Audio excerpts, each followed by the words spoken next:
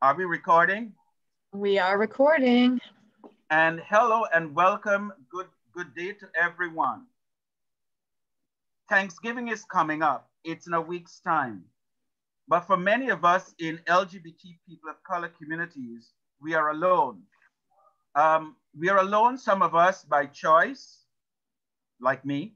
We are alone, many others, because our families don't accept us for who we are. We are alone because we have no family, or because we are far away from our families, or because of some misunderstanding, some argument, some disagreement, we are estranged from our families. And with the COVID pandemic, many of us are likely to be more alone because normally we will get together with other friends and family and go and eat a piece of turkey and eat some stuffing and celebrate the holiday, but not so much about food because food becomes the bond that brings us together. It is the camaraderie, it is the coming together, it is the community that we feel around the table. But COVID 19 is going to prevent us from doing that. So, together with the James Beard Foundation, um, and Colleen Vincent and Debbie Holloway. We are so happy to be able to offer and present this opportunity to you, where we can bring everyone together and at this time, feel that sense of belonging, feel that sense of, I am not alone.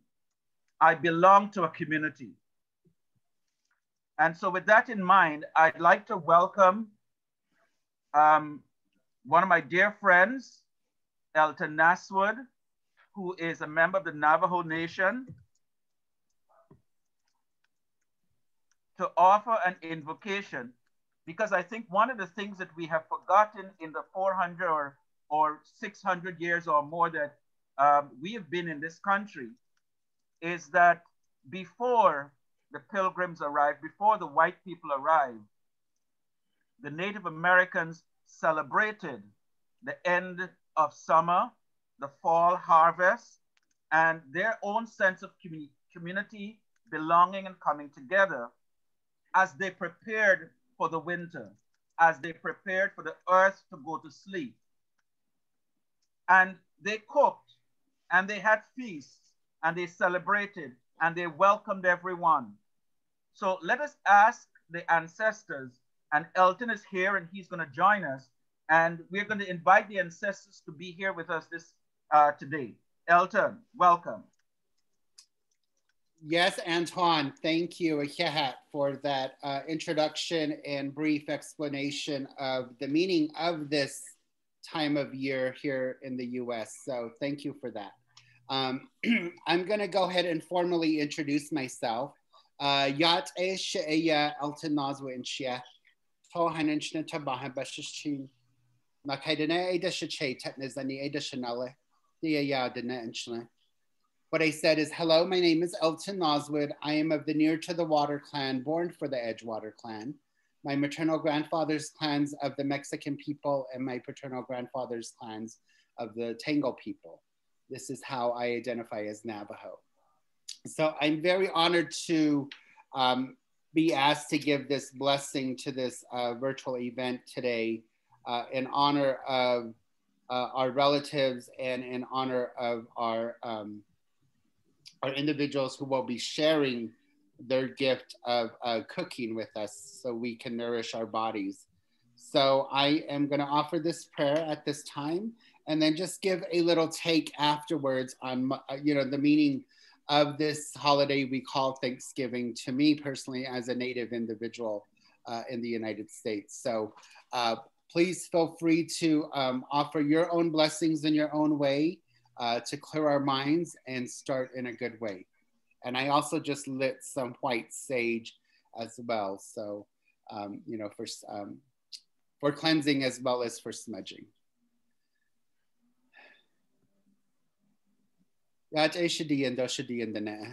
Hello, Creator and holy people. We come to you at this time to ask for special blessings on us and to ask for understanding and compassion and love during this time, Creator. We come together so we may see and hear each other's voice through this virtual call, Creator, as we're not able to meet in person and hold each other and touch each other. We ask for special blessings for all of us during this time of challenge, Creator, when we're dealing with this pandemic and with this virus that we call COVID 19, Creator.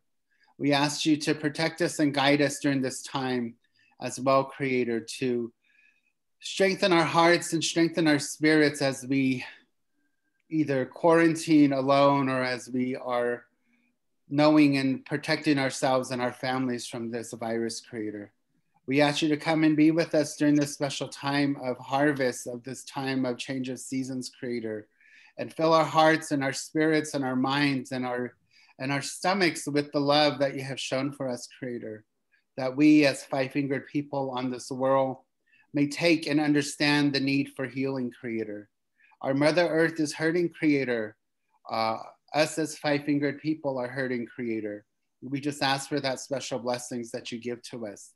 We ask for special blessings for those that are hurting right now, those that are affected or infected with this disease we call COVID 19 creator. We ask you to strengthen and be with those people during this time, creator, with their families as well, creator, so they may get through this.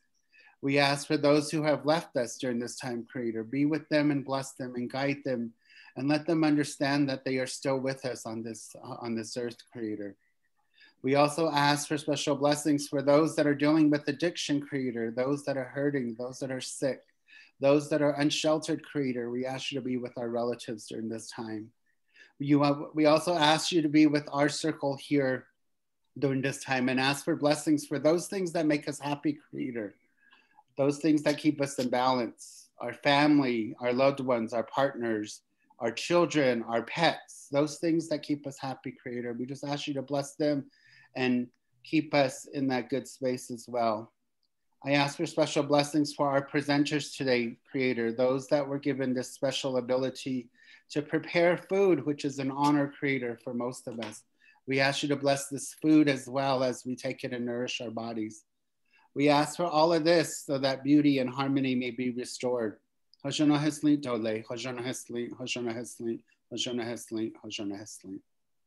Thank you.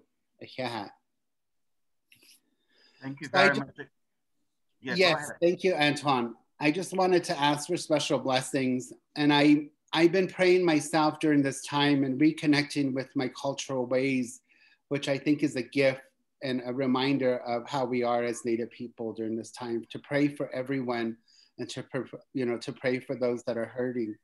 Uh, it is important to remember when we're alone that, you know, we begin to reach into ourselves and understand the spirituality that we all possess, whether it's a higher being, whether it's creator, whether it's Jesus Christ.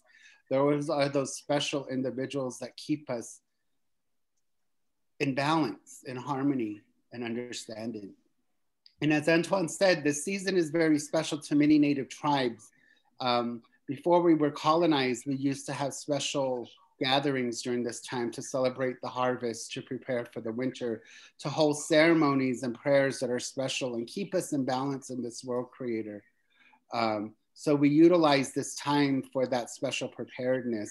Uh, for the Navajo people, we begin our new year in October during this time. So it's very different than what we as Americans view as, you know, a time for um, celebration and gathering but this is a time for thankfulness, for understandings, for blessings in a good way. So I just want to offer those few words as we reflect on this time together and also encourage everyone to stay safe, to check on loved ones, to call them, to Zoom with them, but reach out and be with them during this time, as well as during the time of um, um, the holidays as well. So with that, I just want to say thank you to Antoine and to the um, other presenters and to our special cooks, um, our chefs who are on this um, event call as well. I'm really excited to see what you make. I'm not sure if you're going to be making fry bread, but if you do, I would love to be a taste tester. so thank you very much. Yeah. Thank you very much, Elton. Um, so just briefly, if you can see my screen, so after Elton's uh, invocation, we will have uh, some community agreements, a moment of silence, and then we will introduce um, Ho-Chunk Nation chef El Elena Terry, and followed, which will be followed by our history and food um, by chefs Mavis J. Sanders and Cicely Sierra from Food Plus. Um, and then uh, we will have a discussion following that that'll be moderated by um, J, JBF Community Vice, Vice President for Community Relations, Colleen Vincent. And then we can take questions or so afterwards. Um, so, so just for a brief community agreement, we ask everyone to keep their microphones muted. Please do not take any photos of the screen. Be respectful of everyone who's participating here, even if you disagree. Please use the chat box um, for, for questions. Leave any questions in the chat box and indicate if for a specific speaker or if a general question for everyone, and the moderator will read it out. You're invited to share in the chat box your thoughts about this discussion what did participating in it mean to you? And following this event, we will share the slides and recordings on our respective websites. Additional questions and comments, please send information. Please send an email to info at dbgm.org. So I'd like us now to take a moment in silence as we remember those many in our communities who have died, either from suicide or from homicide, and those who may have also died from COVID-19, who are not going to be at Thanksgiving. Um, in families, there will be an empty space. So let's take a moment in silence just to bring those people's names, bring our family members, our friends to mind and into this virtual space.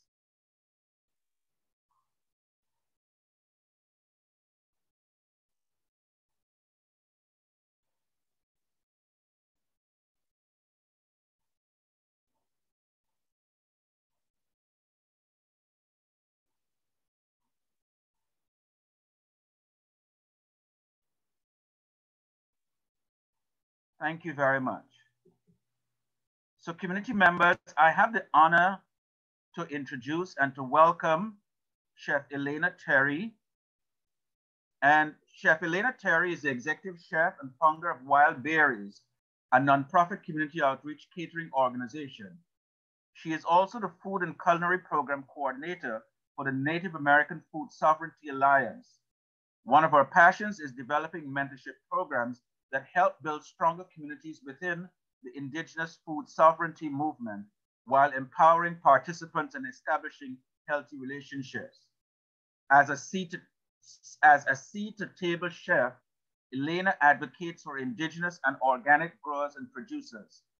She utilizes her partnerships with the Intertribal Agricultural Council at the University of Wisconsin, several tribal farms, as well as her own farm to provide and preserve ancestral ingredients in her community. Community members, I'd like us to welcome Chef Elena Terry. Chef Terry. Haini P, Haini Karagiwi, Ho-Chunk Rajada, Hahe Wenga Hingaire, Naga Maikade Rajada, Elena Terry. Uh, I'd like to greet you all a good morning, and it's morning still here in Wisconsin. Uh, my name is Elena Terry. I am a member of the Ho-Chunk Nation, and I am here in Wisconsin. And uh, thank you very much for the wonderful introduction, for the wonderful prayers. I actually, I, I apologize. I was hoping to have my recipe out to you, but I woke up this morning and I was really thinking about the intention of this uh, event and how I was feeling, even with Elton's beautiful prayer. And I changed my recipe and I decided to share something that we love. It's kind of a home cooking meal here at our household, but uh, it's a blue corn waffle that we also add wild rice to. And um, we have this wonderful berry, maple, cranberry, blueberry sauce, and it's all flavors here from Wisconsin especially from the woodland tribes. And um, I've a lot of ancestral tribes have corn, especially a blue corn of some variety. But I remember I had done an event at the University of Wisconsin, and it was for a Navajo female that was coming up, an, uh, an author, and she told me that she was a little intimidated to come. She wasn't used to traveling away from her family. And when she walked in and she saw that I had made this blue corn pudding, she said, I exhaled and I knew that I was meant to be where I was meant to be. And so I wanted to share a little bit of that feeling, especially that connectedness that we're all looking for in these times of you know kind of forced segregation and, and isolation and uh, how i could share one of the recipes that really means a lot to me that has the flavors of home and that connectedness that you know you can exhale and, and belong and really feel the healing that comes from some of these meals that are cooked with intention and so as i'm kind of mixing some of this stuff together we'll talk and some, some of what I had been thinking about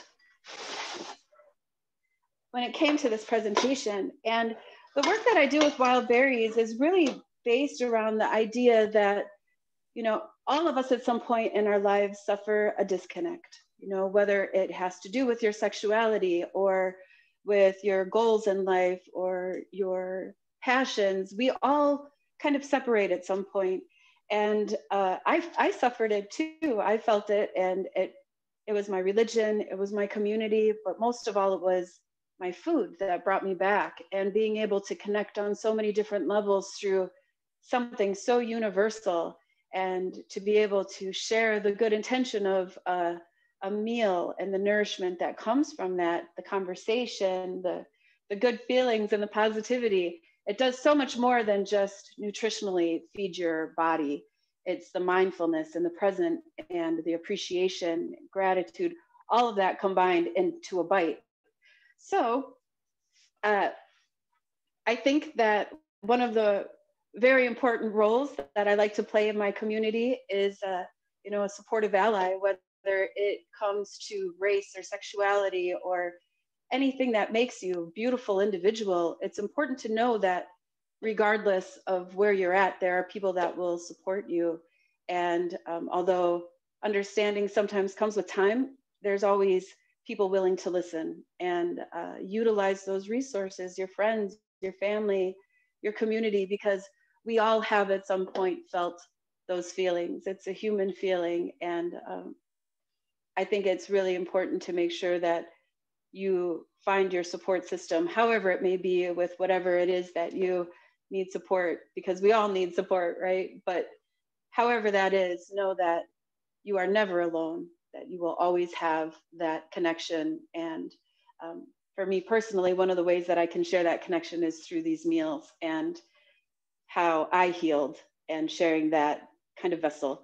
So today, uh, our favorite here on Sunday mornings is a blue corn waffle. And it's kind of just along the same lines as any other waffle, but with the blue corn meal, and this is from Bow and Arrow here, uh, you want to add a little bit more moisture to it because it is thirsty. And there's a secret trigger to this. I'm going to go ahead and sift these dry ingredients, the flour, the blue corn meal, uh, baking soda, baking powder, and just a little bit of salt into a, a bowl. But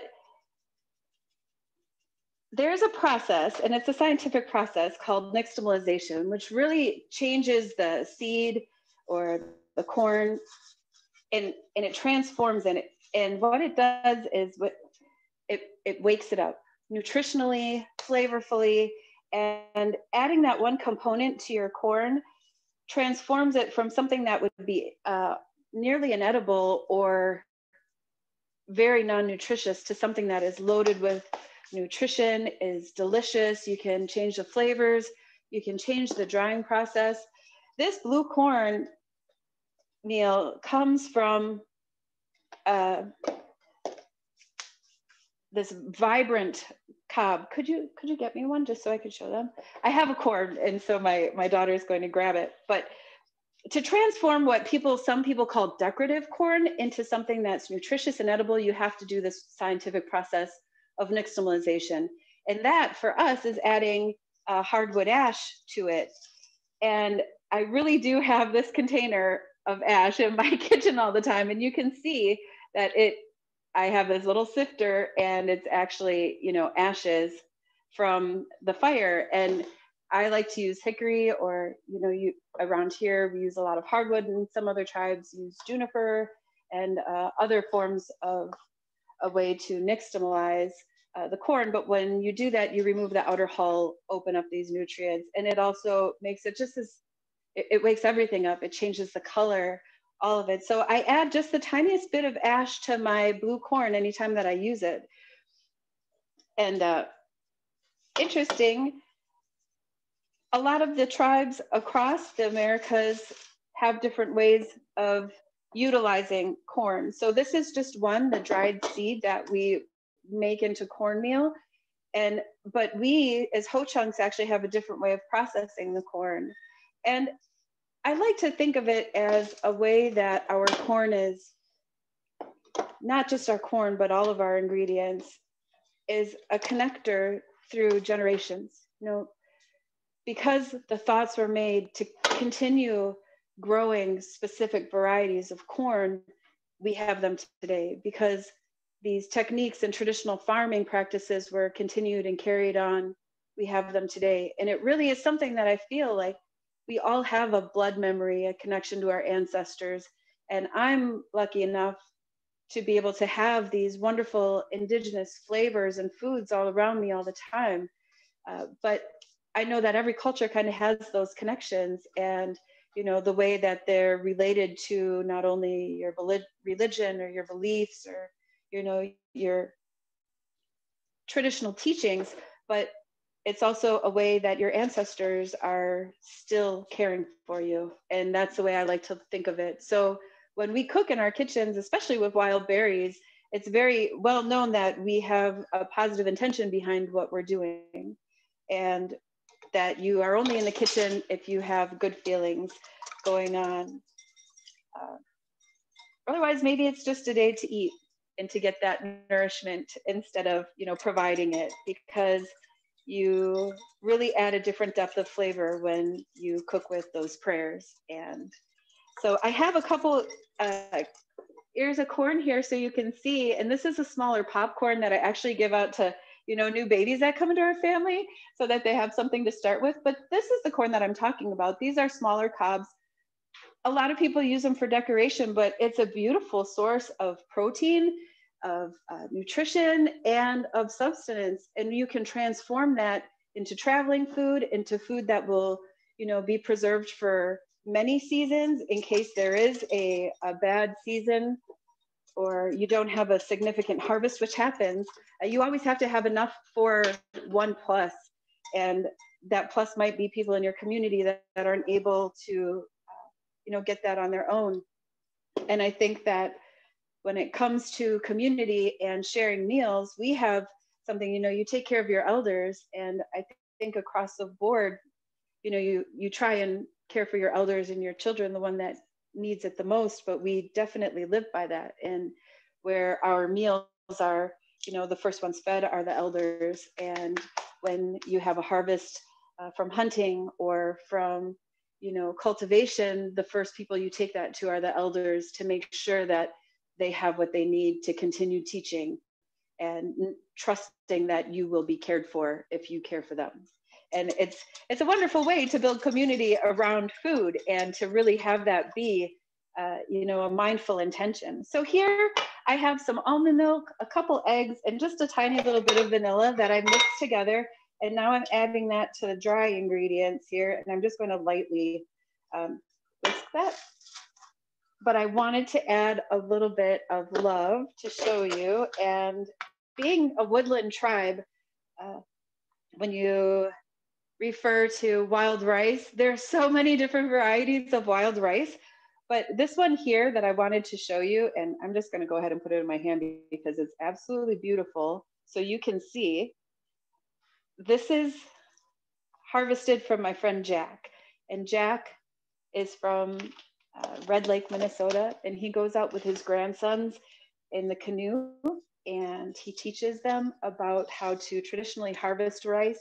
And then he shows them how to uh, parch that rice on an open fire without breaking a significant amount of grains, which is kind of hard to do and takes a lot of skill. And he spends the time at the end of the summer with his grandsons doing this every year. And so Jack's rice is, to me, good as gold. It's the most valuable. When he calls me up, I I just say yes.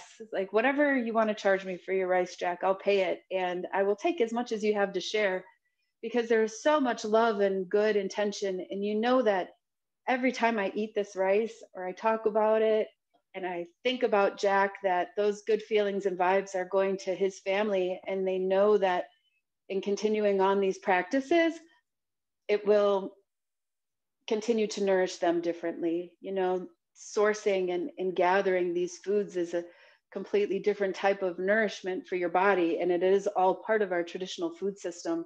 And I really do think that that is applicable to, you know, anybody that's connected to a culture. It isn't. It doesn't even necessarily need to be yours, but it's just that connection uh, to something a little bit deeper and, and bigger, and knowing that you know something is universal, but also is is vastly unique to everybody. You know even preferentially what flavors you like. It, it's something food is universal but it's so diverse and it's so beautiful and it's a wonderful way to communicate with each other. And um, i always kind of like to think that when i cook this way it, it is my grandma's communicating with me and, and putting those memories in and it even in isolation or you know when you have these moments where you need to have an epiphany to change uh, which is you know essential for life. It's that connection and being able to you know say i remember making this soup with my grandma outside and i remember the way the wind felt and the way the sun felt and the way her voice sounded or the way the, the fire crackled and and how all of that kind of you know affects you so I have this batter and it's just like a regular uh, waffle batter, except it, it's a little bit lumpier because it does have the wild rice in it. And I'm gonna go ahead and put it in the waffle iron. And I chose to use maple sugar for this. Uh, you can use white sugar, but it, it does kind of change a little bit and it's beautiful because it's the sweetness of life that we're after. And we're really looking to share that more so than the flavor. But for us, maple is also got these amazing enzymes in it that are considered medicine. And so the blue corn in the waffles, or however you want to use it, connects you to the ancestors. And it's a way that they say it is a communicator.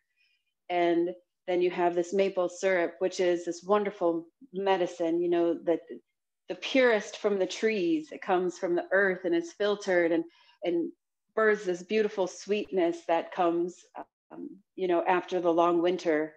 And then uh, I like to add berries to my waffles, especially blueberries or cranberries in, in a compote. I like to, you know, kind of cook these down together because the blueberry and the cranberry works really well together and it gives you this acidic, sweet, bite.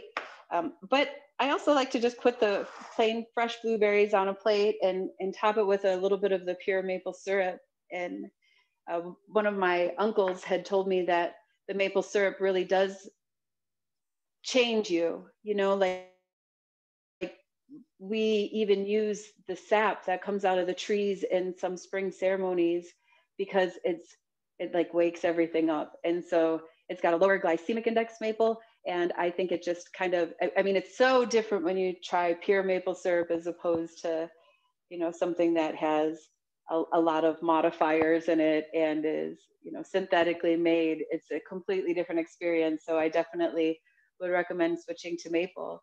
But it all goes around this food is medicine and the mindful intention that we have when we cook and when we consume and the connection that we can have from sharing a meal as simple as a waffle with some syrup for breakfast or if you know you share some wild rice or anything that is grown with the intention or you know with with preservation in mind when it comes to these ancestral corns those have been you know grown in our communities they, there's creation stories that include our food sources like that. And that's how highly they're revered that not only were they sewn into people's clothes to preserve them, they have their own journey of strength and resilience, which is really what life is about these journeys of strength and resilience and how we become better from all of these lessons. And I think that the seed journey kind of helps navigate us and, um, you know, show us how to relate that to life, if that makes sense. You know, seeds grow these deep roots and they get nourishment from the earth and they're there for generation to generation if they're preserved and cared for, just kind of like we are. And those are the teachings that we have when we learn about our foods from a young age. Those are things that I remember my great grandmother talking to me about and my grandmother talking to me about. And, um, you know, making sure that it's our responsibility as humans to not only treat each other well and to care for each other, but to care for the land and to care for the plants and the animals and all of these things that work together or traditionally did work together in a way that you know we all were able to thrive. So i'm just going to check this quickly and see where our waffle is at and it's just about there so i'll grab a plate get some of my stuff down here for you to see and waffle out a little bit. So you can kind of see, and I'm going to break this up, but it is so beautiful. The colors inside of these waffles. You can even see the little pieces of corn and how they've bloomed. And uh, it's, it's just a sweet, beautiful goodness.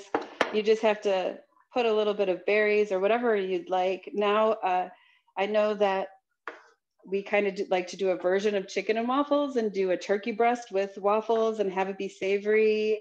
Uh, I just encourage people to try flavors, regardless of whether or not they're indigenous. Try something new. Know that there's a story behind it. Know that people appreciate that in some way, and you can get a connection from something as as simple as a bite in the end. So I'll just finish this off, and you can see I'll tell you that uh, my my daughter's over here waiting for this plate to be finished. but it's just a basic waffle. It's delicious. You can taste the maple. You can taste the uh, the berries, the blue corn, and it all kind of blends together into this wonderful sweet bite that helps you appreciate the sweetness of life. So I wanted to share that. I'll send out the recipe so that we have um, it on the link and I think that's it. If anybody has any questions.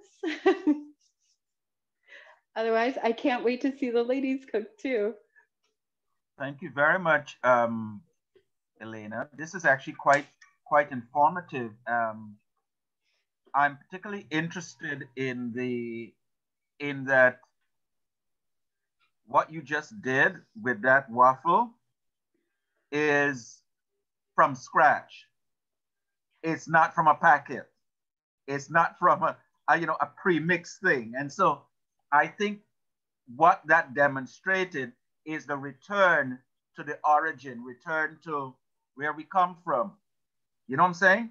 Um, I got a couple of questions here, and Elton, who's still with us, talked about, gave a, a, a, a, um, a description about the wild rice. Um, but I had a couple of questions. Um, that uh, that maybe you might be able to answer quickly before we move on. Um, so they're asking you to send out the recipe, and somebody, Aaron, is asking where did you get the wild rice? Um, and Elton talked a little bit about the native tribes going out in their canoes and harvesting the rice from the from from from the river. Um, he says it's traditionally traditionally in the traditional lands and waters particularly among the tribes in the Minnesota area. They go out in canoes and husk the rice from the rivers, watered, then dried. Some tribes, like Red Lake tribes, sell their wild rice. It's getting scarce to harvest for tribes and for the tribes as corporations are coming in to the ancestral lands and harvesting with machines. Um, so thank you very much for that. Um, so maybe just the one question: Where where would somebody be able to pick up the wild rice to get wild rice? So White Earth Tribe is a good source for wild rice, and they are out of Minnesota. I also work with um, Ziibimijwang Farm in Michigan, and it really is a wonderful Great Lakes thing. If you have a chance, though, to get a hold of somebody's hand parched, hand harvested wild rice, do it because it is something completely indescribable compared to a cultivated wild rice. And you're also supporting the, the local native economy and you know small families that are trying to continue this. way. But it does take, you know, I even with me foraging, everybody always wants to go foraging until it's time to go foraging. It's a lot of work, you know, walking out in the woods or, you know, being out in a canoe all day and then knowing that what you harvested must be processed, you know, that you have timelines and stuff. And so if you ever have a chance and you can, there are tribes that you can reach out to, especially in Wisconsin, Michigan, and Minnesota, that you can get some of that hand harvested, traditionally processed wild rice, do it because it is something that is it's indescribable in flavor as opposed to the cultivated wild rice. And it is technically a grass. It's something really amazing. So if you get a chance to try it. Thank you very much again, Elena. And community members, let's let's let's let's let's give thanks to Elena for for her presentation. Um, okay. Uh, actually, I need to. Ooh. Okay, so the next um,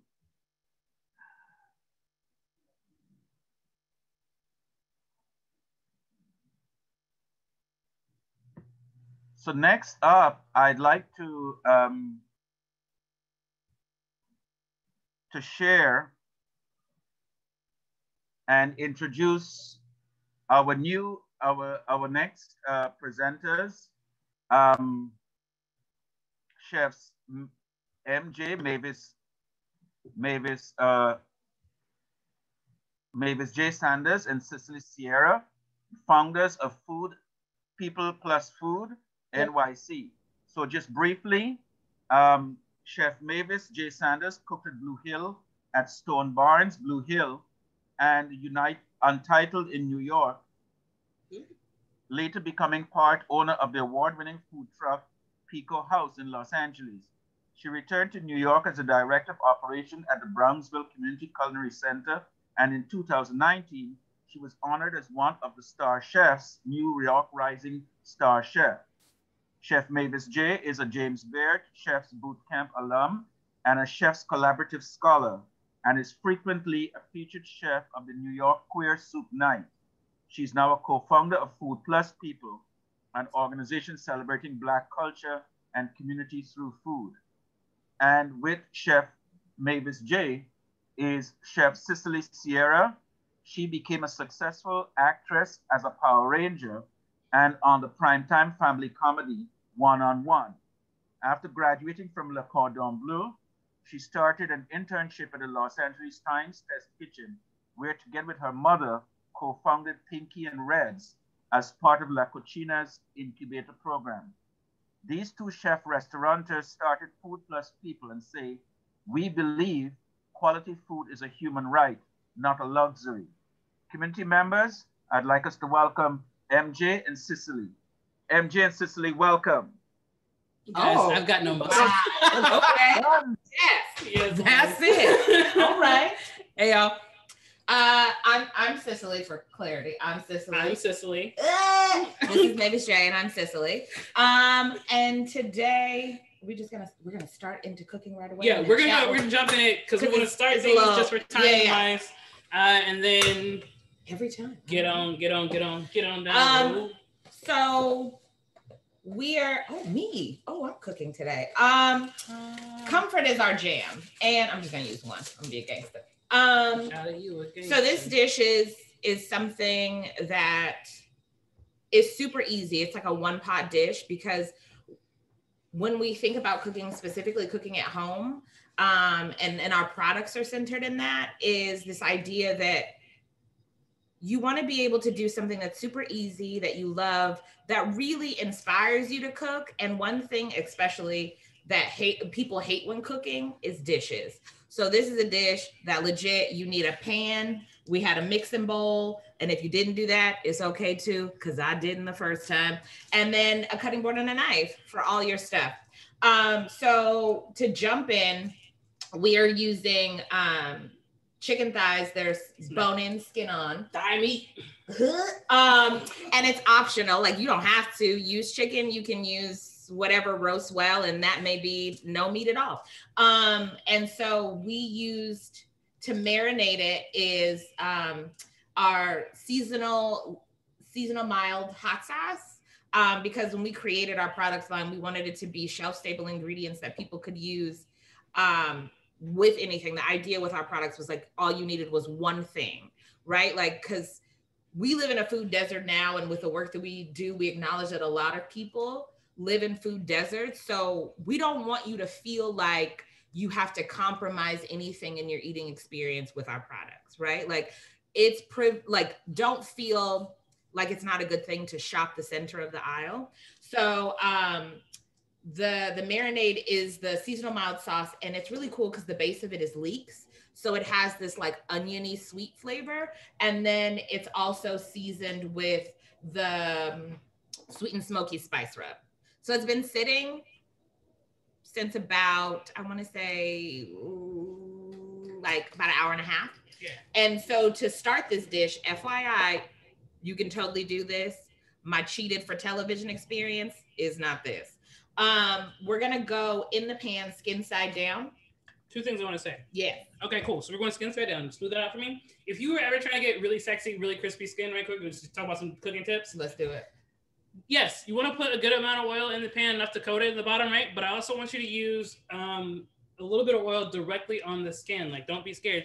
Thank you, tech people. Look at Is that. Debbie? Look I at this camera. This how you know, you've been in, doing Zoom for a while with your kids. Yeah, for sure. Okay, so there's our chicken. We're actually gonna make sure that we coat that skin really well. We're using grapeseed oil today. Right, go ahead.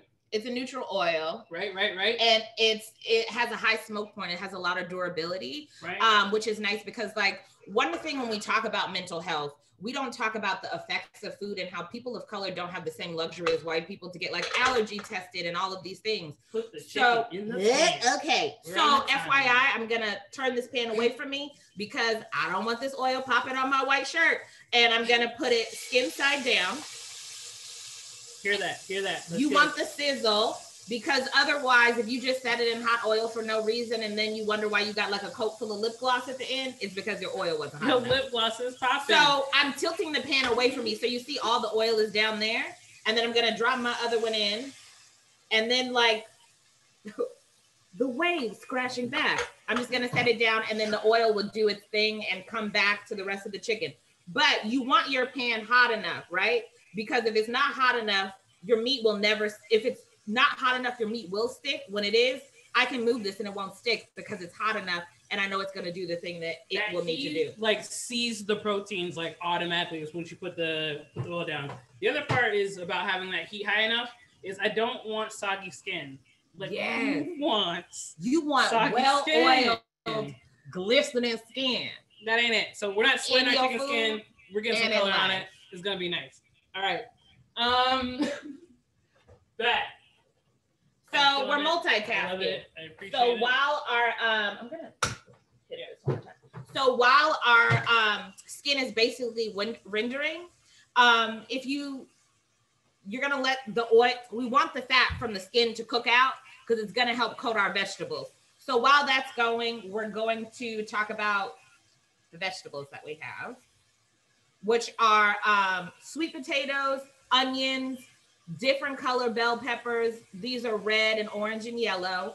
Brussels sprouts, um, radishes, the watermelon radishes, apples, potatoes, and I think that's it. I'm not gonna lie, the recipe on the screen said broccoli, but our broccoli was in the bottom drawer of our refrigerator and it froze. So we are really cooking with what we have at home. That's the beauty of Which cooking. is what you need to do anyway. Uh, all right, cool. Don't go out to the store buying random stuff just because no, to complete a recipe. use what's in your pantry. We're talking about pantry building eventually. Yeah. All right, cool. Let's go tech people. We're gonna go back down to the cutting board. Let's talk about some veg. Maybe not. There you go. Hello, welcome. Okay, cool. Um, I'm gonna start with this bell pepper. Yeah, start with the bell pepper. Okay, cool. Um, a lot of people um, hate cutting bell peppers because they're like, oh my god, there's a mess, it gets everywhere. Um, I don't want you to be afraid of that. I'm gonna teach you a little hack in order to avoid that, avoid getting the seeds everywhere. We're just gonna cut off this end right here. Check your fingers. Expose. Whoop, here we go. Just as such. And when I'm looking at it, I can see inside these white ribs, and all those ribs are holding my seeds, right? So what I'm gonna do with my knife is I'm just gonna cut on the outside, just shy of the rib, of the rib, as such. Look at that. And all my seeds stay intact, like in the middle right here, right? I'm gonna, I'm the kind of person I like to cut as far, as close to the middle as possible. I don't want to waste nothing. You know what I'm saying? Waste not, want not. Somebody said that. Oh. I mean, yes, a lot of people. a lot of people have said it. Yeah, I don't know who said it originally. I didn't want to be like my mama said that, and everybody's mama said that. You know what I'm saying? Chaka Khan. Chaka Khan said it, guys. I don't know. That's not real. All right, cool. so that. perfect for compost, right? We've got very minimal waste, right? And all this whole thing, bloop, right into compost. Here you go. Um, if you are somebody at home who struggles with having a sharp knife, dull knife, struggling with cutting bell peppers in general, I would actually suggest that you put them skin side down when you're cutting them. I know it's gonna sound crazy. People are like, what? But this side right here, because of all these like ridges and stuff like that, makes it actually super easy. Sorry, um, to cut them uh, like on this side. So we're just gonna do some nice slices. It's a good size for you. Also, really quickly, the pettiness in me. So mm-hmm. let's say you do have people coming over mm-hmm. and you want to do something like this and they are really finicky, finicky, finicky. um, and you want to be like, they're like, oh, I don't really like bell peppers, or I don't really like this, or you got kids like us, and you want to trick them to eat all their vegetables. Just cut it a little smaller. You want me to cut this one small? And they'll never know. Um, no, that's fine. That's actually really pretty. Hey, you let me know if you want me to cut it's, small. You are like fantastic. I just want to make oh. you happy. Okay, smaller it is. Smaller we went. All right, cool. So knife cut. So that's our hack for the day. If you didn't know, if you were having a little bit of trouble with your bell peppers and everything like that, and I like to make sure I keep it clean when I'm cooking because of the simple fact that I hate cleaning up more. That's so, real. Yeah. All right, that. Next up, what do you want to talk about? Um, so in this dish, so we had like back in the day, we thought it'd be a really good idea to take our children apple picking, and so we have all these apples, and we don't eat apples like that. My God. Um, and never made a pie. And never made a pie. Never pie. made apple cider. All the things that you think you're gonna do with your life. I don't know. Why, it sounds why can really you only cute. buy apples from the grove in 90 pound sacks? can, can you meet me in the middle? Okay, so we cut up apples as well to um Mavis's um favorite fra- phrase, not give you palate fatigue, because we're gonna like layer the apples in here. So that way it'll give you like this little surprise of like sweetness where people are like, oh, what is that? And you be like, girl, it's a secret recipe, but it's apple. Um, so we just cut them around the core and layer the apples. You want me to actually do this? Yes, Vanna White. Um, and then once they're cut, um, though we love brown things, we don't necessarily love oxidized things. So um, we want to cover them with water, right? Because you always hear white people be like, you don't want to turn brown. Brown don't taste good. It does, but oxidized things don't taste good. Um, so we're going to, I'm getting a little burnt. Right Let's get a little cover. You know, a little color. A little um, so I'm gonna turn this off because we're good here. So we can put it in a little bit of water. You can put a little acidulated water if you want. That acidulated part being a little bit of lemon juice if that was it. Yeah, I just squeezed lemon juice and I mixed the apples and the potatoes together. It's fine. We're gonna cook it all together why make more dishes? Okay, chicken is done, so we can go to work. Cool. Um, and then we got a little high low, and because we live in a food desert, we have to get restaurant deliveries. It's wild because all the restaurants deliver in our area, but I mean they're they house in our area, but they don't deliver to us locally. So we have to go the extra mile to get food. So we had watermelon radishes in our our kitchen. So I was like, well, let's use that. Since since I left the broccoli frozen, Ugh, not even in the same family, but they're really good and they're peppery and have a little bit of sweetness to them normally we eat them raw in a salad, but they look like really beautiful. And they look like a watermelon in theory. So she's gonna show you, she's gonna peel it, and I would just slice it. So these are a thing that like if you're nervous about pepper or the person you live with or shacking up with or just coming to visit, day, you know whatever what it is. Yes. You want like a good time, don't cut these so big because they are a little spicy. Right, but I do love one thing that this is kind of like a cute hack because like we do eat with our eyes. It's got a beautiful, vibrant pink color, right? Yeah. So whenever you guys start slicing this, if, if you if ever you're cutting something that's round and you're not comfortable about it, don't be afraid to just like do a little slice on the side, give you a flat surface that'll hold it steady. Yep. Um. Oh, but what I wanted to show you was like when we talk about it being a watermelon radish for anybody who doesn't really have a lot of experience with this it's so pretty. Look it's at that. So gorgeous. So it gives your plate like a little bit of pop. Um, and they do hold well. A lot of the items that we're cooking with today hold well, and that's really important. Like if you are coming from a lower income area or an area where you can't get fresh veg all the time, um, getting things that hold well in the fridge or hold well in like cool dark places like potatoes. We have all these potatoes, we have these onions and things like that. That it's not just gonna like wilt over like night. You know what I'm saying? Like we want to use herbs. We love using fresh herbs, um, but we like also have a lot of dried herbs in our pantry. Like we don't want to be afraid of using that. Give us all those flavors and, and things typically, as a person of color, you do, and then you'd be like, "Why do I have quarts on quarts of parsley? This is the time to use them." Right. Okay, so we can start layering this jive in. Mm-hmm. Um, we're gonna take the chicken and set it to the side. I sabotaged you. It's okay. I knew it was Harry. I was thinking side. So I'm gonna take this chicken and um just set it to the side. This I do want this. I'm not gonna lie because this is actually caramelization from brown sugar. It just looks, you know, a little dark skin. So guys, our our our chicken is only halfway cooked. Yes. Right? Just so that is why I put that on that pan. Um. So I'm gonna use my my clean hands. My clean hands. And I'm just gonna take from the oil that I have, and I'm just gonna layer this in here. Cool. So she's starting with those sweet potatoes. Um, sweet potatoes are definitely a staple in our diets. Um, they are have some amazing health benefits. Um, you know, the orange part, the carotenoids. Um, they say they yes, carotenoids. you went to school. Uh, the car- My carotenoids. Uh, they say, or they, or the health experts say that they uh, lower your risk for cancer. Um, and uh, sweet potatoes also help control your blood sugar. Uh, so if you have diabetes, sweet potatoes are a great way to go. They also um, lower your LDL, LDL, which is bad cholesterol. Um, Not just so, Cheerios. so if you have um, less less chance of like uh, uh, heart problems or like heart disease, or anything like that. Um, so sweet potatoes are pretty, pretty clutch. Of course, those carotenoids also, same thing they find in carrots, where they're like, eat these carrots, it's great for your eyeballs.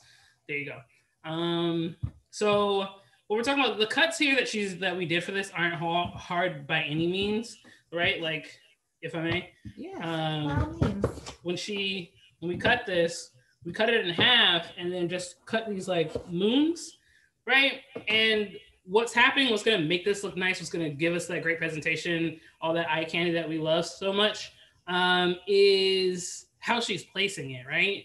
So it's not like there's a bunch of knife cuts. It's not like there's a bunch of like anything yeah, that's no. crazy difficult you can't do at home and for a lot of people and it'll take you a lot of time. You left the skin on. Just rinse it. Rinse the potato, right? Like leave the skin on. Don't go wasting the food.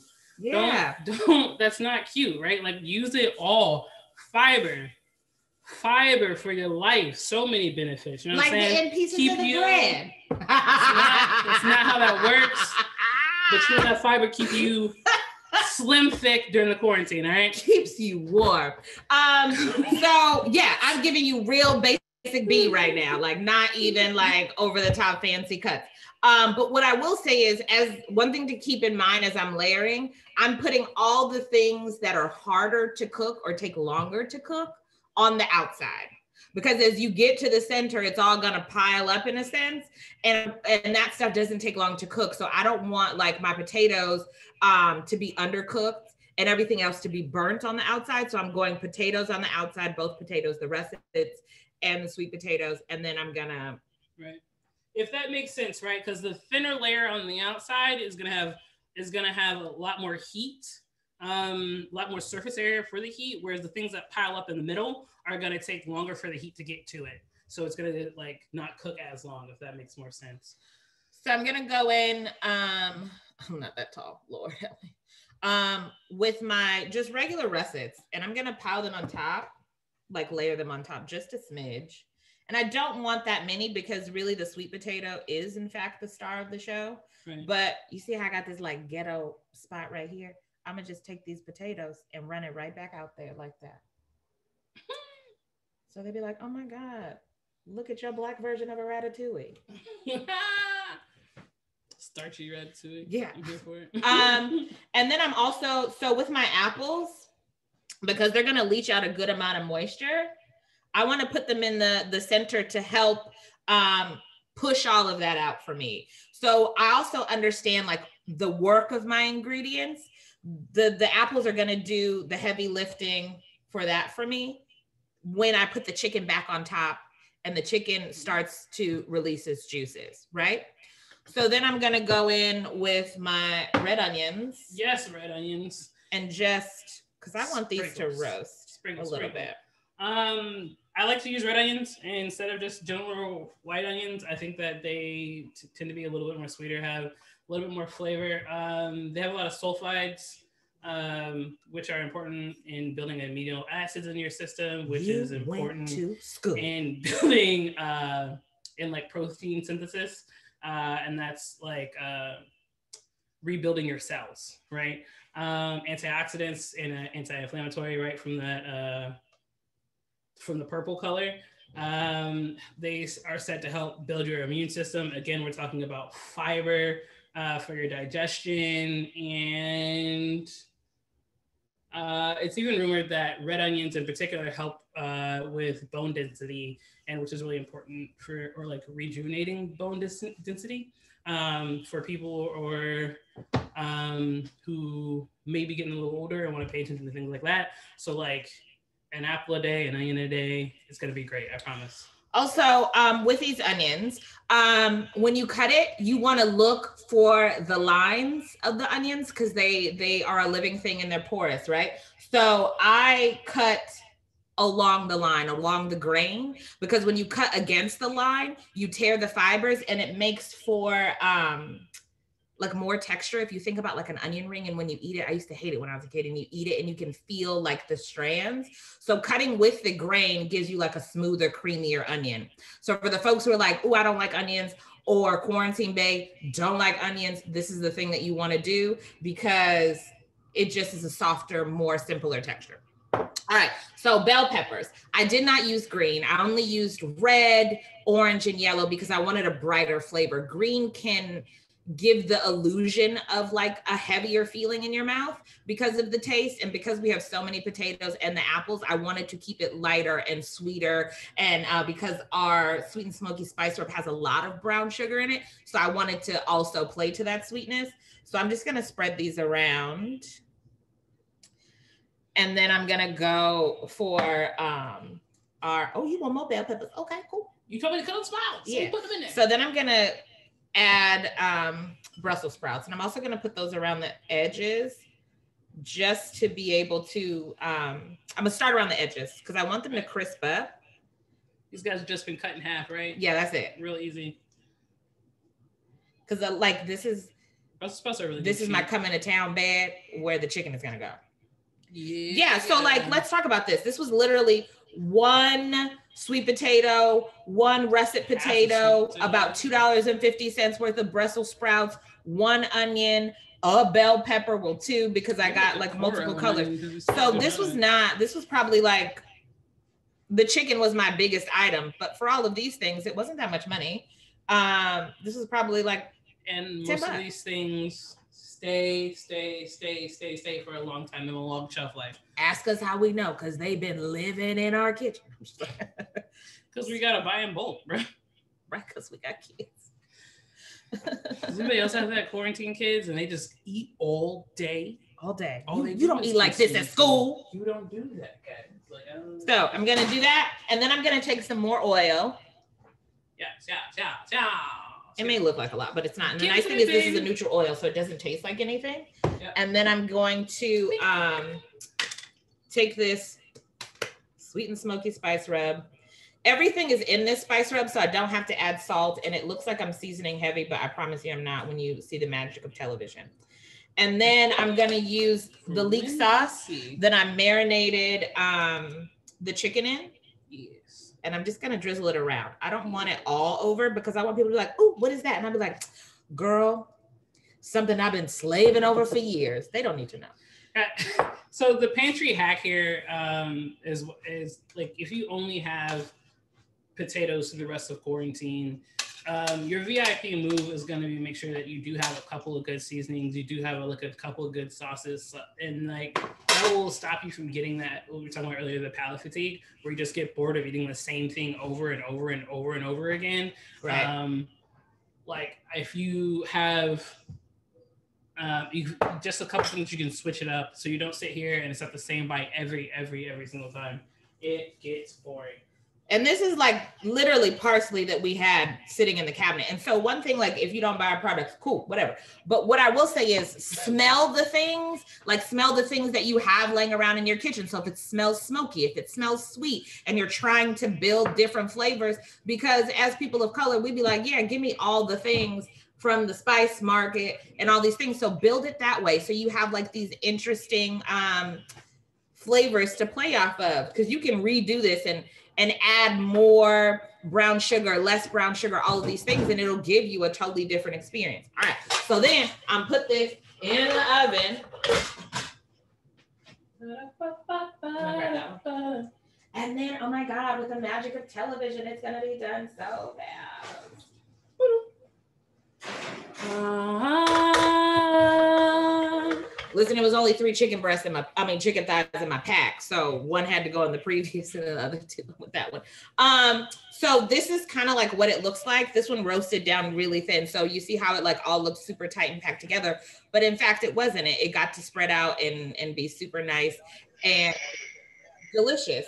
And so for me, um, Mavis is like really great at plating and everything like that. But this is also a dish that like you can if you you can set it on the table and everybody can eat family style out of and gather and have that conversation. Or if you're like me, just let it cool down a little bit and eat it in the bed while you watch TV at the pan, and all you need is a fork, and you don't have to do this. Legitimately, what she'll do, she'll like take the wooden cutting board and I'll put it and put it on the bed. On the bed. And then she'll put and I'll be like, this pan. I don't know.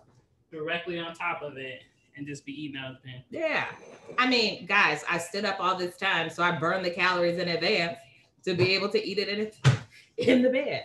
Um, but this is like something that's super simple, that's important. Um, because it's so basic that like you don't I think that living like for us, we live in a food desert and you look and you're like, we don't have a lot. We don't have, but there's a beauty in using what you do have there's a beauty in the simple. And and these everything is like well for us everything is like local or everything is like fresh.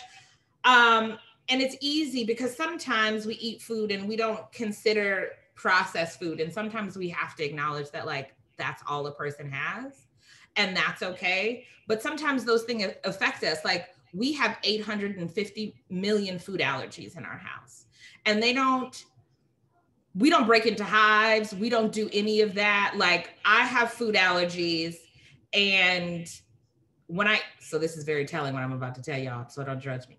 Um when I eat them, I don't have a normal rash, right? Like I my eyes will swell. That's my reaction to them.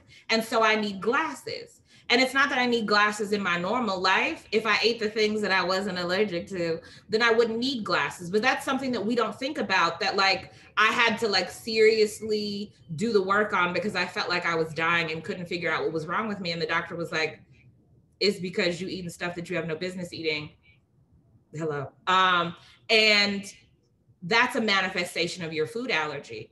So sometimes there are things that are happening to us and, and as we have children specifically um, we feed ourselves and don't know that like the community around us could potentially be doing harm and it manifests as something else. It it manifests as stress. Like for me when i eat my allergies i grind my teeth at night and it gives me a headache and it's hard for me to function during the day and I didn't necessarily know that like me grinding my teeth and getting these migraines was attributed to the things that I was allergic to.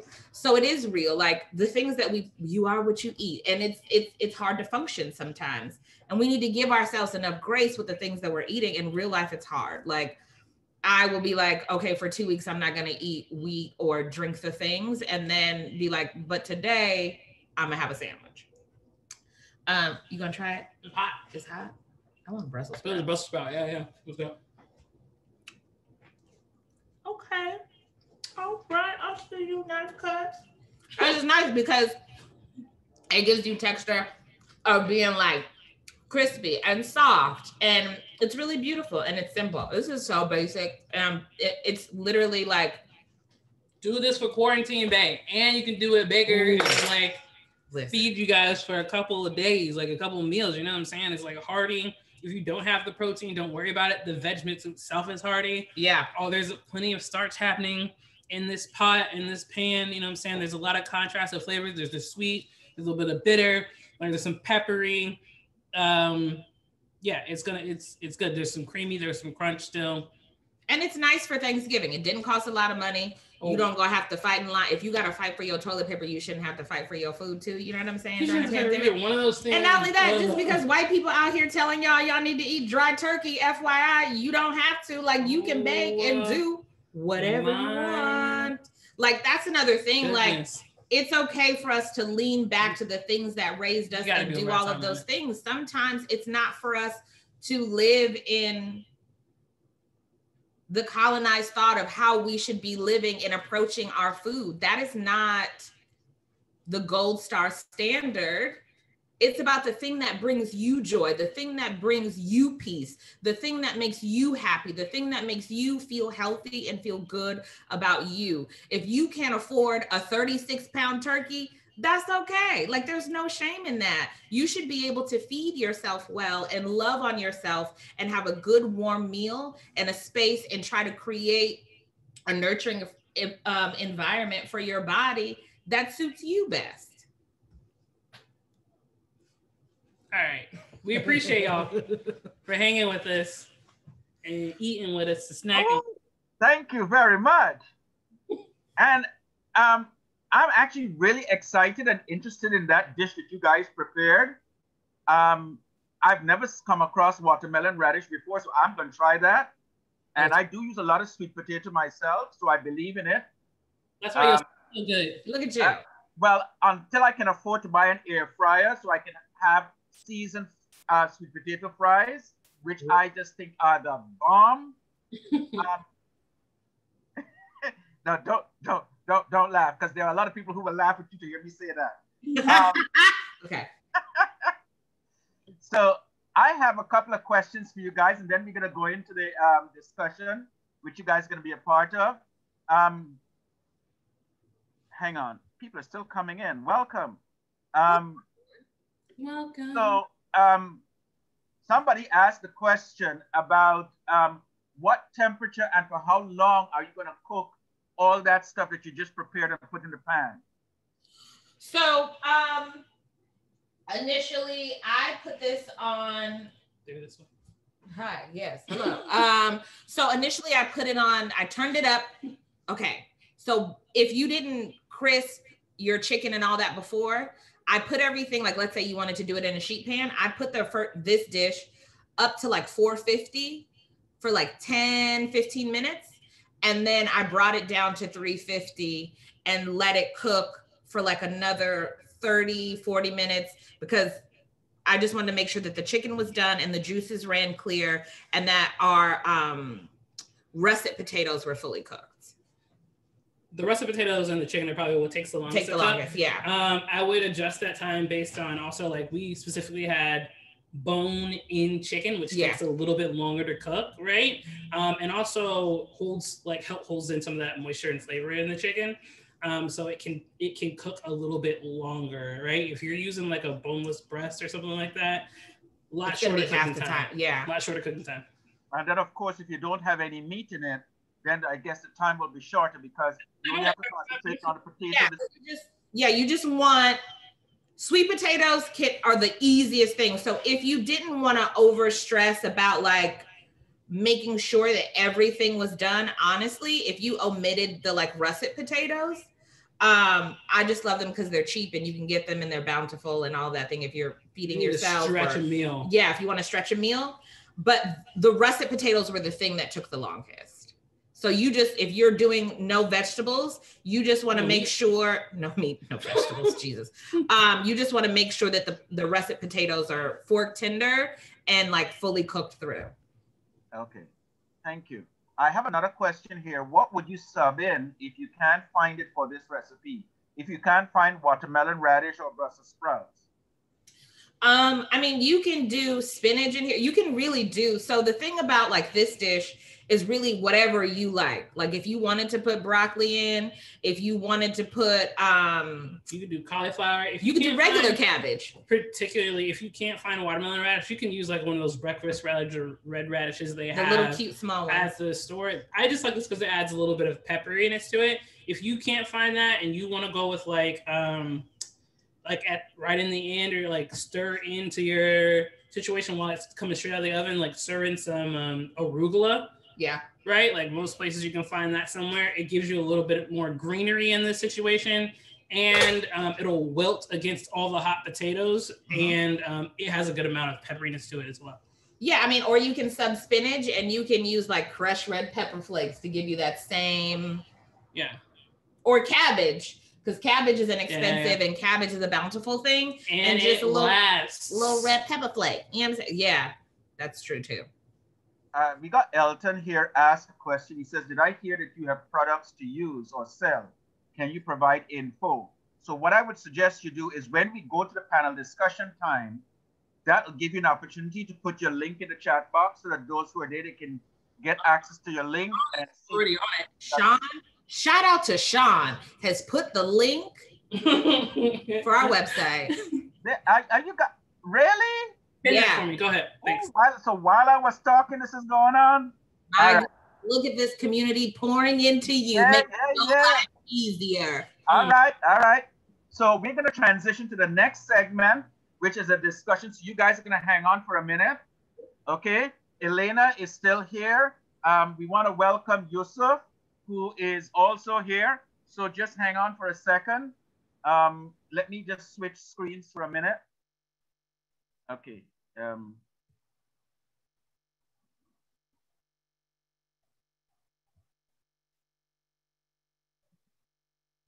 okay, so can you guys see my screen?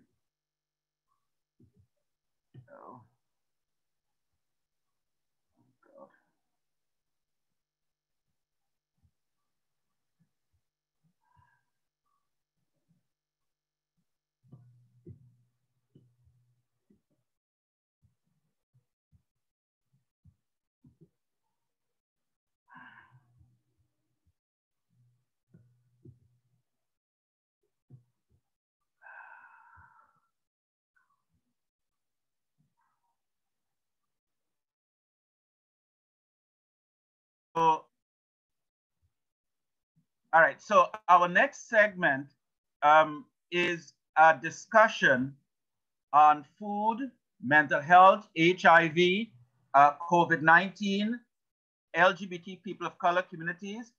And this, this, this, this, this segment will be moderated by um, James Beard Foundation's Vice President for Community Relations, um, Colleen Vincent. And um, one of our panelists is uh, Reverend Michael Crumpler, who is with Unitarian Universalist Association of New York. And he serves as the LGBT and Multicultural Program Director at the Unitarian Universalist Association. He's an ordained minister in the United Church of Christ. Michael lives in Harlem and is very active in the social justice ministry at the historic Judson Memorial Church of New York City, where he served as president of the board from 2016 to 2018. He's passionate about intersectional ministry centered on Blackness, queerness, HIV, AIDS, economic justice, and emotional well-being. Michael has published in two groundbreaking works related to HIV and AIDS on curating issue 42, What Don't You Know About AIDS Could Fill a Museum, and Spiritual Care in the Age of Black Lives Matter. And um, additionally, oh, we want to welcome um,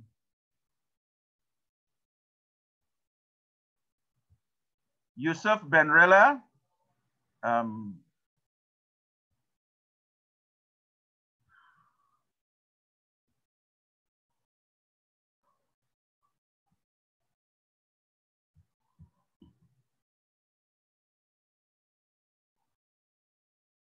Okay.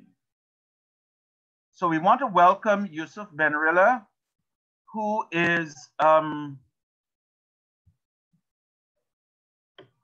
who has been recommended to us by Elena. Uh, you guys met Elena, who did the preparation, the demo before about those wild rice and and blue corn and uh, waffles.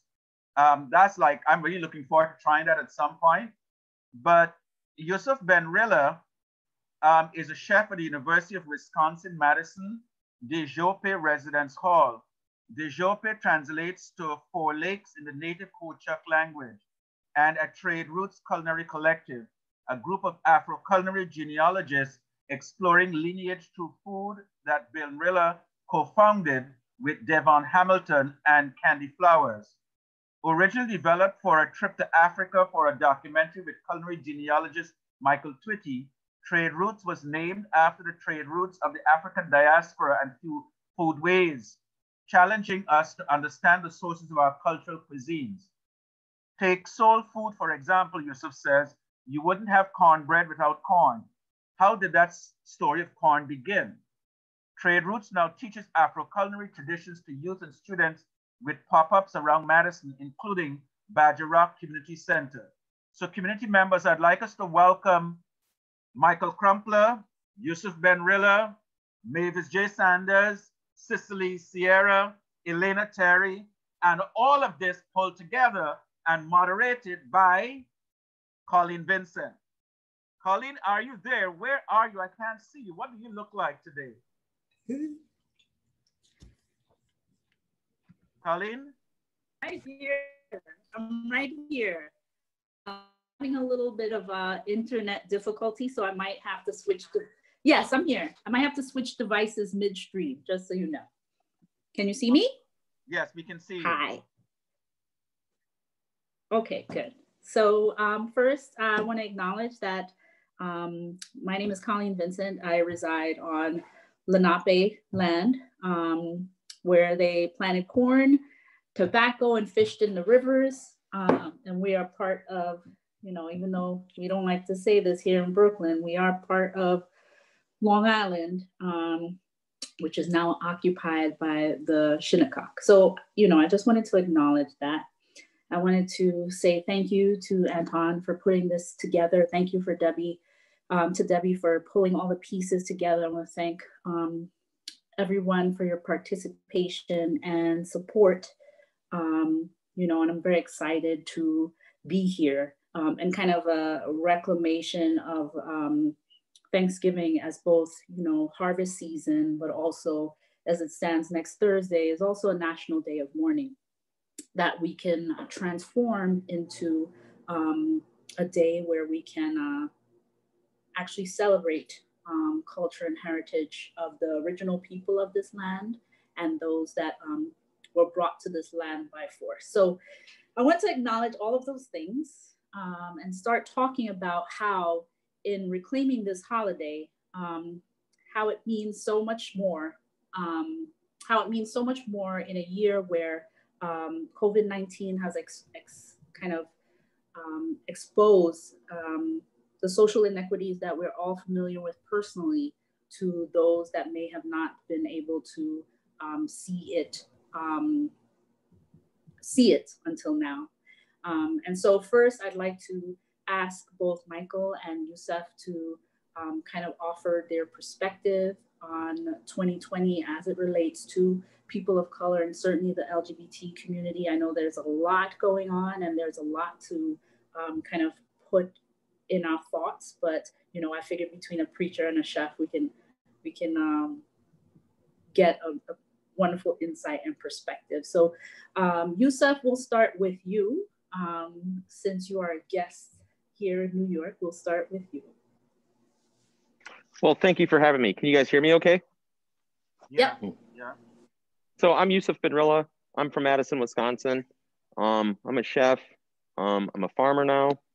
And um, yeah, like what we were saying, well, what you were saying earlier about how COVID really exposed some of the disparities in the communities and in the food systems. And also i think it also um, opened people's eyes to how close you can be to running out of food. So a lot of people they couldn't get to grocery stores. All of a sudden grocery stores are uh, closed. People couldn't get the items that they needed. And i think that there's not now more interest than ever in being able to produce food for yourself being able to produce food for your community and neighbors. Um, so, you know, that's kind of like where our mission has been headed for a while, even before COVID and the um, resurgence of the BLM stuff. We were um, already heading into a African diaspora farming situation, or um, that was our goal anyway. So, and with COVID, you know, things that we also realize here, I live in Wisconsin. We're at 43 degrees north. It gets pretty cold here for a lot of the year. Um, there's a lot of misconceptions about what can be grown from the diaspora. And um, so I co-founded Trade Roots Afro Diaspora Gardens with Christian Keeves and uh, Rue Ganger. And we, you know, basically we're gonna grow everything that we can at our latitude from our diaspora. And that includes sorghum, okra, collards, sweet potatoes. Um, sweet potatoes isn't a native plant of Africa, but it's become part of our diaspora because that's our yam. Our our ancestors, my ancestors, looked at sweet potatoes like, hey, this is like similar to our yam. Um, so they call them yams, and um, and watermelon, egusi, uh, the list goes on. We grew uh, benne seeds, so basically all these different plants that we were told in some instances couldn't grow here, we were able to grow and then feed our and help feed our community. So we fed roughly 70 families per week with organic donations um, through Badger Rock and other sources, uh, other outposts in Madison. Uh, throughout the entirety of COVID, we were able to feed 70 families organic produce and food um, I've done a lot of work with Elena Terry on Afro-Indigenous intersections. Uh, uh, briefly in my introduction, I spoke about cornbread and the intersectionality of corn and cornbread. Where did that come from? Where did that start? So those are just questions that I've been asking myself and like diving into um, more, more and more.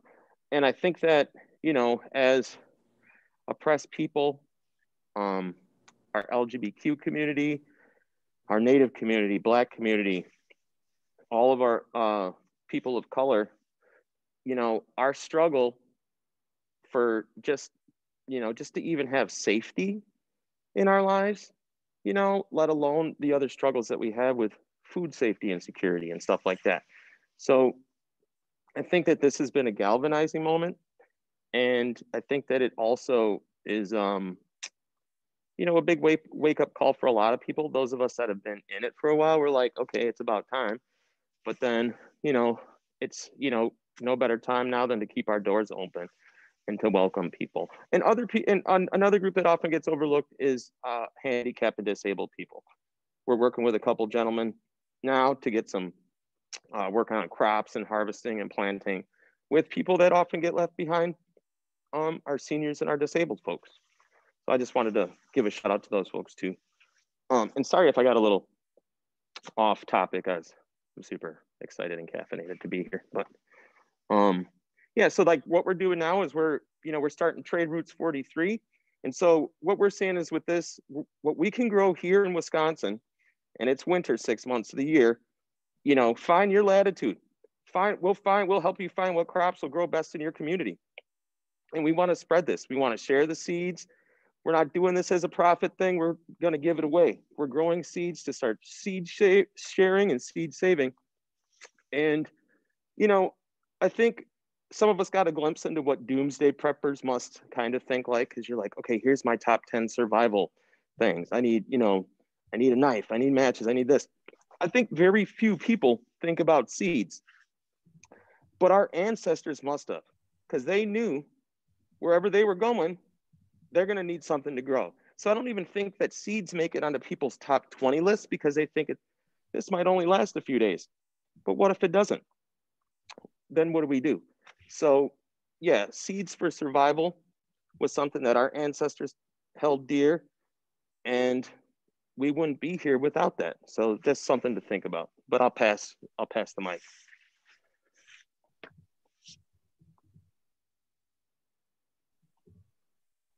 Michael?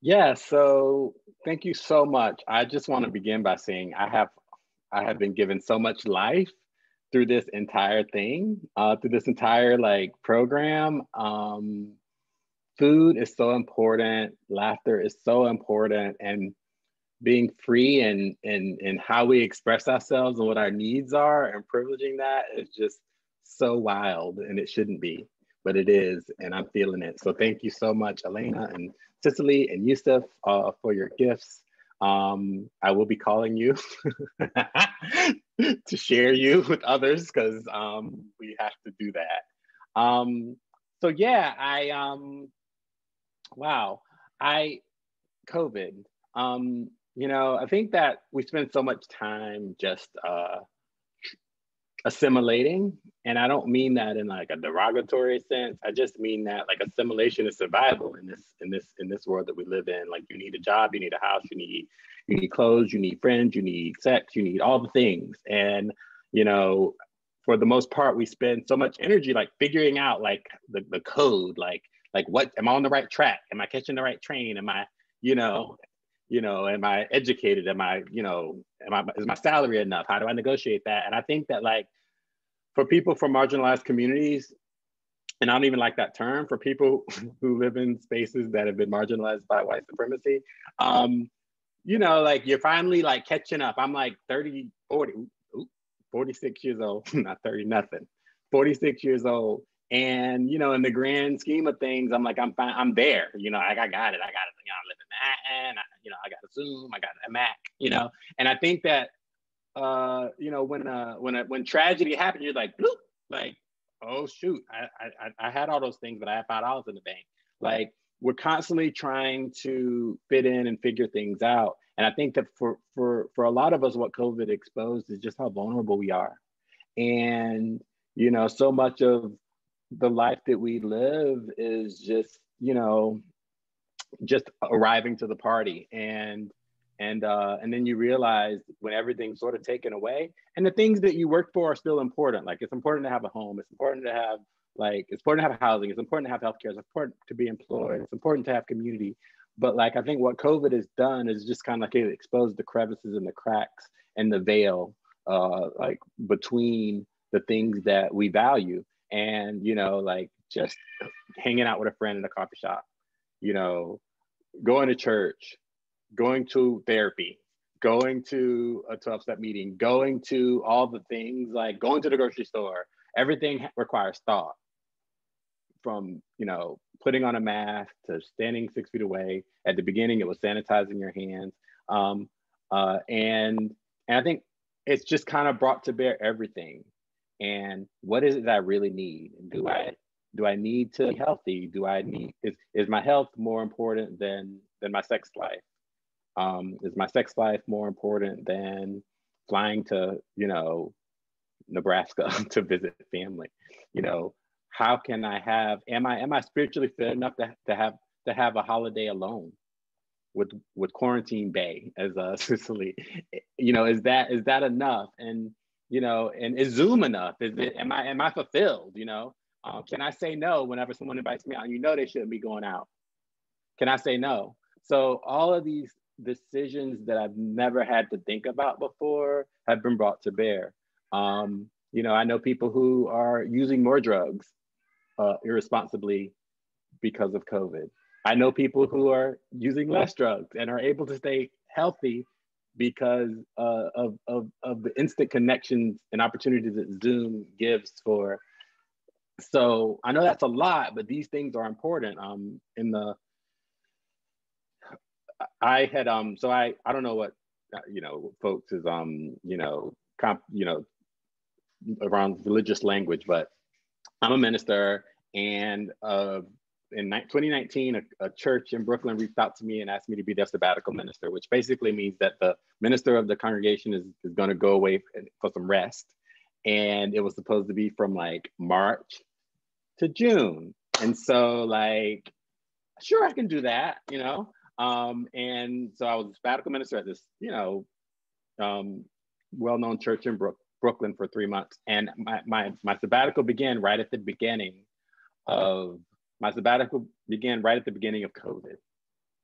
So all this stuff is happening, you know, and and like I had to all of a sudden figure out with this community how to uh, move the entire institution into an online universe. And you know, as well as like how do you do visits, how do you do drop-ins, how do you deliver food, how do you do all these things, and and it impacts everybody. You know, how do you do a funeral? uh, whenever, you know, in, in, a time of COVID. All these, I thought I was just gonna be preaching, y'all. I didn't know I was gonna have to do all of that, you know? And so it just brings everything to bear. How do you have community? I absolutely love, love, love the cooking because it's something, again, that we don't think about much until, you know, like for most people, y'all probably think about it all the time, Cicely. Y'all, y'all think about it all the time. I don't think about it that much. My partner thinks about it a lot more than I do, which is why, you know, sometimes I'll be looking like, what we gonna eat? And he's gonna be like Chinese food. So like we, they, you know, I don't think about it that much, but it's so important. Prior to COVID, we, um, I started this Black Queer Brunch. Um, and I started this Black Queer Brunch, right? I know y'all are ready. You're coming. You're coming. You're gonna come and cook for us. That'll be like our celebration. Um, I started this brunch because uh, as Black queer men um, and, and, and, and women and trans folk, a lot of the community that we gravitate toward initially when we're just coming out or what have you, particularly when we're leaving the Black, Black, Black church culture that is generally not very receptive to our, you know, living with a man, you know, um, like, so we, so anyway, we we found ourselves very familiar with white spaces, but unfamiliar with one another in those white spaces. It's like you show up and everybody's kicking over here to the side. And you're like, there's one of us over there, but I'm over here. So anyway, I realized that I wasn't as um, friendly with folks who looked like me in in Chelsea. Let's just be clear at the center. And so we created this brunch to get to know one another, and it's been happening since 20, uh, 2016 um, and and it's and we built a community out of it, really like a black queer and trans universe of folks who get together uh, to, to basically be family together. And the sadness is that like that hasn't been happening. Our last meeting was at the beginning of March when we shouldn't have been getting together we got together. And I was in there like, don't touch things and you know, let me serve food and all those kinds of things because we didn't know what was going on. So anyway, the sadness, the good part is that we've kind of still connected uh, every week more so than every month via Zoom. But these are the things that we've had to think about. And and with everybody it's different. So I'm not gonna say it's like this for all black queer people. Um, because for everybody it's different. I think the hardest part is trying to decide how do I stay connected? Do I hang out with this person with a mask? Do I just hook them up on a Zoom or do I just text this brother? So it's just it's just causes um, every aspect of our lives to be questioned while we're also always have ever been questioning every aspect of our lives. Thank you, Michael. And and you know, I just wanted to like chime in um, in thinking about you know what community means and what community looks like, especially for marginalized people. Um, you know, Anton started this conference around LGBTQ plus um, mental health. And, you know, it is a known fact that um, people who um, have HIV um, are more prone to depression, not just because of um, not just because of their status, but literally it's it's one of the it's an aspect of the condition. And so, you know, of course, nutrition is of paramount importance. Um, but when you have a community that's marginalized by um, by status, um, by um, you know orientation, by um, by race, um, and so many things, um, you know, intentional community comes becomes that much more important. And so what happens is a lot of our communities kind of gravitate towards unhealthy things um, because unhealthy things provide that sense of community, allow people to connect um, because, you know, a lot of people um, don't know how to connect otherwise, you know, either they weren't given the skills by a family that, you know, wasn't as supportive and loving as accepting as it should be. Um, but that being said, you know, what I know, you know, anecdotally, of people of color in general is that we are all very communal in, in stark contrast to the more mainstream, um, the more mainstream um, um, American populace. And so because this is something that's kind of rooted in not just traditions, but like straight up heritage and bloodlines, you know, how do we, how do we access, how do we find a new way to access community um, and how do we find a new way to nourish ourselves, you know, both spiritually and also physically? Like, for example, some of our most marginalized members include trans folk, right? Trans folk of all metrics, socioeconomic metrics, suffer the most um, and are, you know, receiving the least amount of help. So how do we as a community assist um, people and how do we help people you know empower themselves to access community um, i'm throwing this out very specifically to michael but if anybody else wants to chime in you know i'm happy to you know hear that as well i think we all are yeah i mean i think that you know we have to realize that all people need the same thing right like i don't know I, I mean, I, from an equity lens, right? Equity means those who need the most get the most. Um, and so I, I, I, certainly hear you in that regard, but I think that all people need, you know, community, nu- nutrition, you know, safety, you know, in, you know, housing. All people need um, all of these things, and and I mean, we're you know, we, we I think the perception is that we live in a, an accountability, responsibility culture that what happens to you is your fault. Um, um, and, you know, things happen to you, not at you. And I just, I always like try to like invert those things. Like, actually, most of what happens to um, people of color, people who are queer, people who are trans, people who are living with HIV, people who are who are using who are who are who are drug users. Um, most uh, people who are who are criminalized, most of what happens happens at them.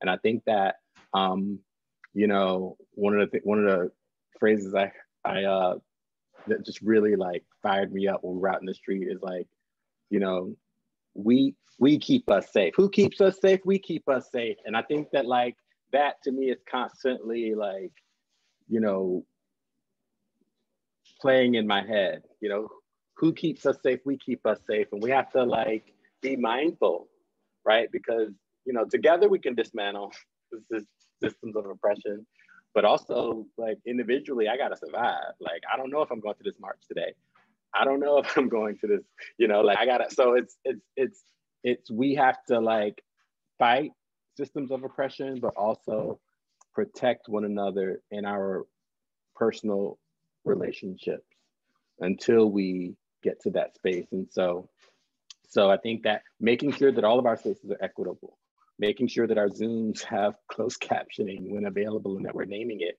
you know, making sure that we are, um, you know, if we believe that those who uh, need the most get the most, making sure that those people get to speak first, you know, even in these like, so it's just like the little things, showing up however you can when you can and making that person feel centered whenever they're in, they're in front of you, you know, um, not as like a political statement, but as a personal statement because our politics are one thing, but how we treat one another is another thing. And I think that, you know, we have to like live it out because again, for some of us, um, we're never gonna see that day where, where, where, where uh, the police, where, where we defund the police. We're never gonna see that way where, where prisons are, are, are, are abolished, but they can be abolished and defunded in our personal relationships.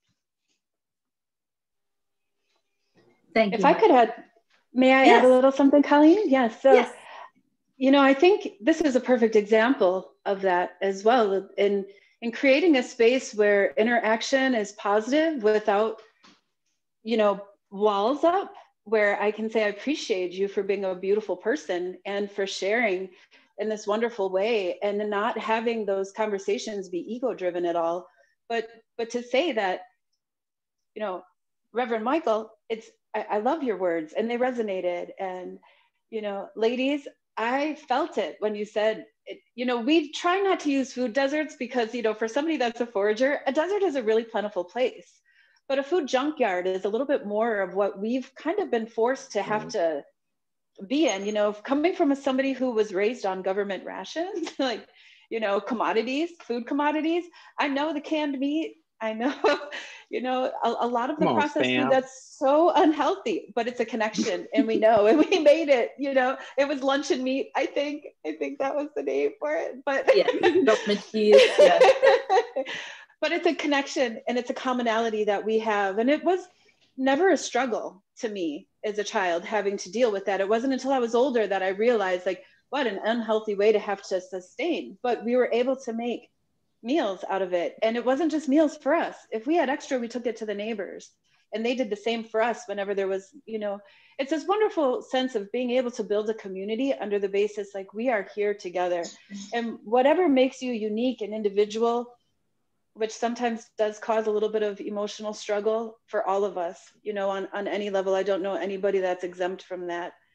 It's about saying that I think it's beautiful in you and I love to know more about what you have to offer and creating a space where those conversations can thrive. Like, I'm just so blessed. Thank you for including me in this conversation because I like what you said, uh, Michael. I really just feel this wonderful sense of warmth. And, you know, we are mm. entering a time where people celebrate a mass genocide of our people where our lives were changed forever. And I don't like lingering in in the words trauma or mm-hmm. you know hurt or hardship i like to say like what a beautiful strong resilient bloodline i come from we are still mm-hmm. here you are all still here and now we have the decision right now today to say that we will change this for tomorrow and that you know the conversations that we have now and the inspiration that you all have brought to me in my life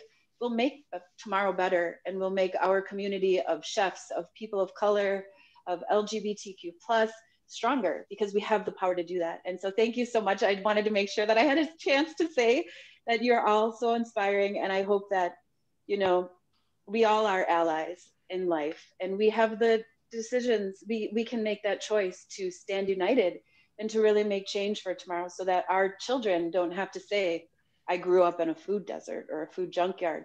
But to say that, you know, I remember my mom and Yusuf going and starting a garden and saying that the, there's great strength from the plants that we are going to grow. And it's not for us, it's for you. And being able to have those conversations. So just know that, uh, you know, I love the work that you guys are doing. And thank you so much for, you know, including me in this day. I really needed it. And your beautiful faces have really it, it was it was wonderful. Thank you.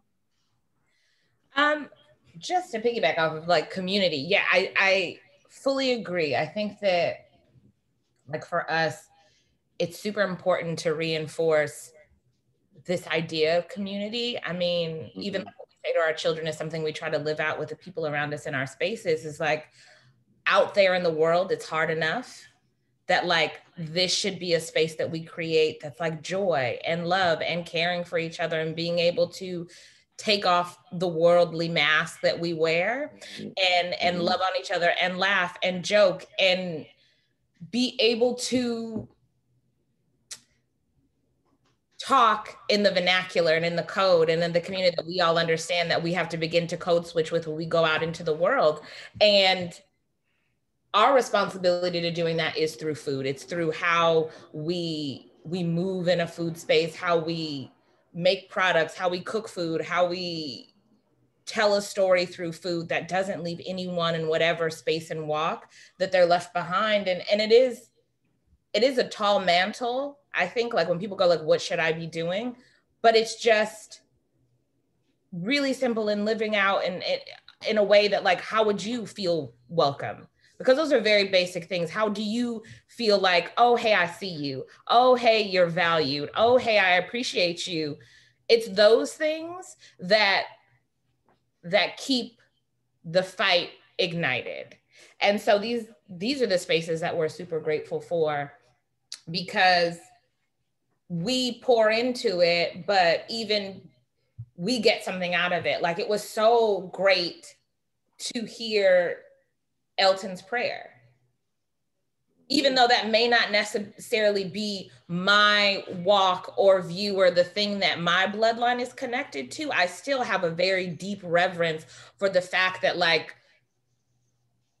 we believe in something and we can gather together in that thing, that I can reverence your gift making room for you in such a beautiful way that you care enough for me even though we don't walk the same life to lay your beliefs on the line so that I can can have the depth and breadth to be myself in this space.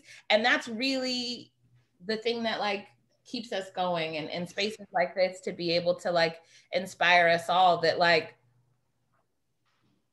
there we're we're all not a monolith and we're all so nuanced and you can be as particular as who you are and have your lived experience and we can come together and and learn and grow and be inspired by one another. So it, it this is just the the ultimate equity. Yeah. And we ate. No. I mean those was really good Thank you very much, um, Cicely and MJ. Thank you very much again, Elena and Michael and Yusuf. I think Yusuf dropped off because I think he said he, he was doing lunch service. So he just stopped in for a quick minute. So Elena, thank you very much for grabbing him and help getting him to be part of this because I think he, he had a really important, uh, each of you had an important aspect to add to this. And I just want to be able to say thank you very much to um, James Beard Foundation, to Debbie for joining with me and putting up with me to put this together, and to Colleen for um, having the patience and and you know the strength to put up with me. And as a matter of fact, and I wasn't pestering her a lot this time round. Okay, I was like, you know, let me just ease off a little bit. Um, so that's that's Colleen and and Debbie. But more importantly, uh, thank you guys very much for all that you did to make this um, this event a success um, with the food and the cooking. And as always, I look forward to trying um, MJ's and and and um, uh, chicken. Well, I don't eat chicken, but I'm gonna find a piece of lamb or a piece of goat or something. Okay. Don't, don't, don't I don't like that face, uh, Cicely. And, um, you, know, you got it going on. Okay. All right. I can't get no New Zealand salmon. But yeah, I'm gonna find a goat. I'm not gonna get that salmon from last time. That was doing too much. But let me go on and find this goat real fast. Okay. Yeah, go, go to that four dollars and seventy nine cents a pound. It's cheaper. Oh, that's anyway. Real. And Elena, I am definitely interested in the um, blue corn and wild rice um, waffles. Interestingly enough, do you grind the wild, the wild rice before you mix it with the, the ground uh, blue corn and the wood ash? I'm just interested in that. But so thank you again very much. And let's get ready for our next um, presentation, which will be on December 1st for World AIDS Day. And we are talking about screening documentary, You're Not Alone. And um, we're gonna have some panelists, including a former porn star, transgender woman of color who is, who is a veteran. Um, Michael may be joining us for this as well. Um, so, and another transgender from Guyana um, may be joining us. So we're pulling this together as well for World AIDS Day. Um, so look out for us and we're continuing with a number of different events in the next several months as we go ahead. Um, and just as a, I think I have to say this, is that this event and all future events are being funded um, by, a, by a micro grant from New York City Department of Health and Mental Hygiene. So with that in mind, I'd like to say thank you. Anybody just want to say thank you and goodbye?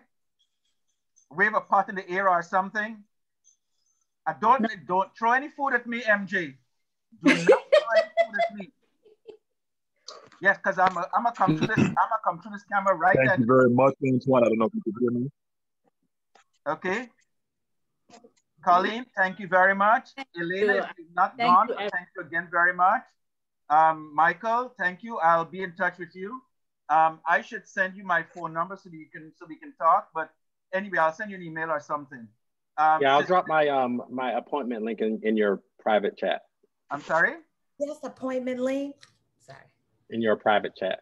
Ooh, I just gone up. You're like, yeah. it's, it's it's COVID. That's how we do it. Ooh, I just got up and like. Thank oh, you thank guys. You. Thank you guys very much. And um, Debbie,